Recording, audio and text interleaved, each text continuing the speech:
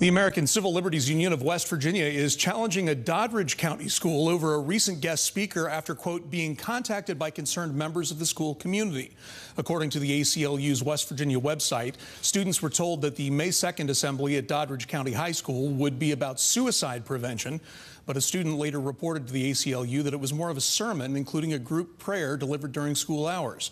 The ACLU is also filing a Freedom of Information Act request seeking records about the presentation, including recordings, communications between the school and the speaker, and discussions about the nature of the event.